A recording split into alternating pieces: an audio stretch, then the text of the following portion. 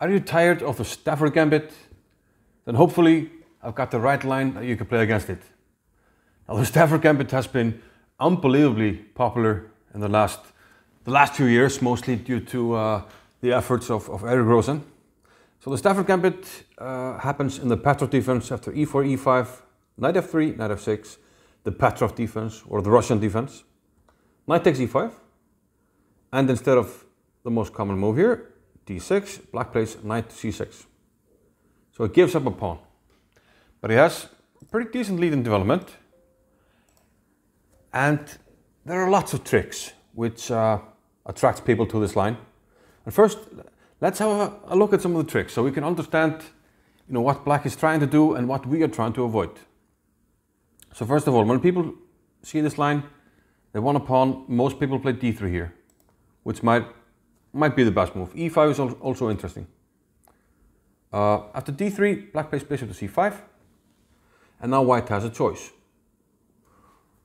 The most obvious trap is bishop g5, then they take on e4, earlier my queen, take on f2, and we have mate. And countless people have fallen for this at the lower levels. Many people see this and think, okay, I want to get the castle, play bishop e2. Bishop, and play bishop e2. Uh, my black goes h5. And white castles. And now black continues the attack, knight to g4. And many people are tempted here to push the knight by going h3, but they're already facing some difficulties here after queen to d6. And now white has to find the only move e5. Otherwise, white is just more or less lost. And you play e5 so you can take on g4 with the bishop and play rook e1. So already you could be in a lot of trouble if you don't know what you're doing. You could also play, instead of castling, you could play c3 and this is probably a good line objectively for white, but even, even if you prepare this, you memorize this, you know, you, black keeps on attacking. He plays queen h4, queen back, maybe you push f3, which might be the right move. They go h4. You're under tremendous pressure. They take on h3, sorry, on g3, rook takes h2, etc. So even if you go here and, and the computer likes white, we're up two pieces. Even if you get all the way here, you can lose in one move by playing what looks like a solid move, queen a4. Oh, I'm, I'm threatening this and I want to castle queenside. Then rook takes e2 and, and you're close to losing here. Bishop comes in, big problems. So this is not what we want to do. I mean, the Stafford is kind of a fringe line. We have one more, one more trap here. Uh, after d3, well, you can, you can go d3, d3, bishop c5 and e5. You could also go e5 first, but if you go e5 here, it's just 94. And it's actually very good for black. So a lot of pitfalls. But I think you can avoid most of these pitfalls by playing a relatively computer approved move here. The computer likes to move f3 here. And this sort of takes away all the tricks that they're preparing for. And I like this because it reminds me of the English opening where you very often you try to play sort of you know behind these pawns. You try to get the pieces behind the pawns, and if, if you have everything you know connected, defended, it's very hard to break through for black here. And one problem he has is that he has lost a central pawn and traded the other one away from the center. So it's very hard for black to break in the center to open up your position. To do that, he will either need to sacrifice a piece or get a pawn break. But you know these pawns are a long way away from any pawn break and this is the only pawn break we, might have to worry about. What I also like is that now it's our turn to have some tricks up our sleeve. So here, black actually doesn't have a ton of choices. Those who play this, they seem to be going for knight h5 here. You know, they want to keep attacking. But here I like the move, queen to d2. And okay, most likely a Stafford Gambit player will play queen h4 here. It looks tempting. But we go king d1. And actually, black is facing some tricky situation here because we're threatening to play queen g5, which would force a queen trade. So h6 or bishop e7 are actually reasonable moves here for black. Eric Rosen once had this and he played bishop e7.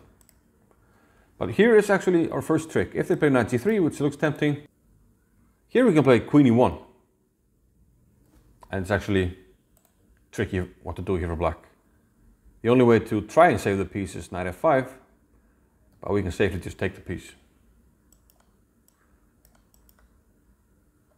And there's not much in this for black, just down a piece, we're happy. So that's sort of trick number one.